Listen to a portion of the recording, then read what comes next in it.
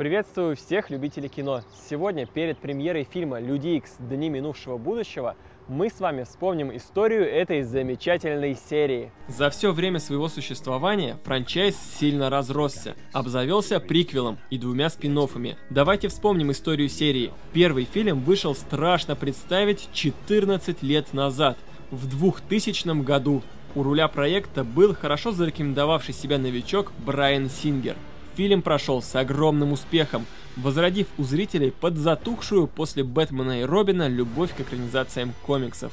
Спустя три года, в 2003 вышел сиквел с лаконичным названием X2.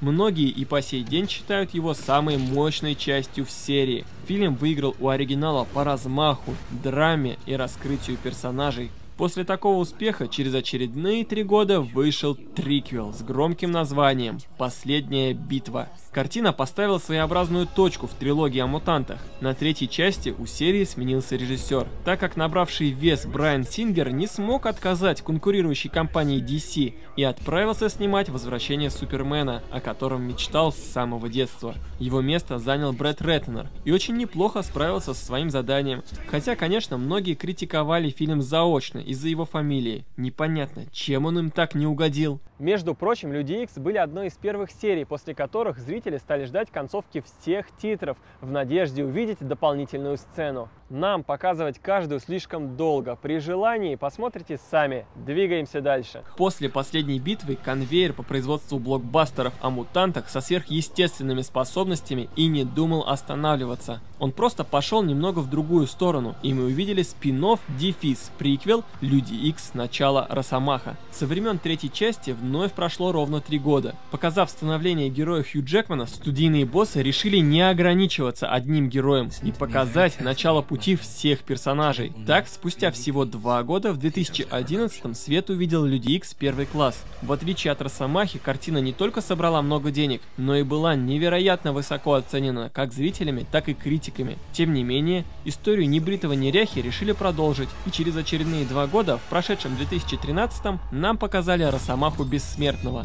Надо заметить, что у всех трех последних фильмов серии были разные режиссеры – Гевин Худ, Мэтью Вон и Джеймс Мэнголд соответственно. Родоначальник серии Брайан Сингер тем временем после провала возвращения Супермена сильно пожалел, что так легко расстался с принесшим ему славу франчайзом и снимал фильмы для телевидения. Но вот Мэтью Вон не смог уложиться в график и заняться продолжением первого класса, так как планировалось изначально. Как говорится, время – деньги, и студия в поисках экстренной замены обратила свой взор на Брайана, у которого к тому же случился очередной провал с картиной «Джек. Покоритель великанов». В итоге Сингер охотно согласился занять режиссерское кресло и сразу же принял решение вернуть весь оригинальный актерский состав.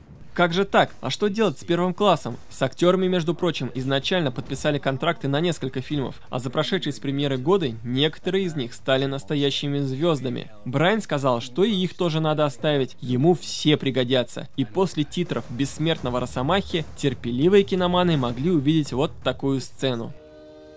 Привет, Логан. Неужели это возможно? Как я сказал тебе давным-давно, не только ты обладаешь особым даром.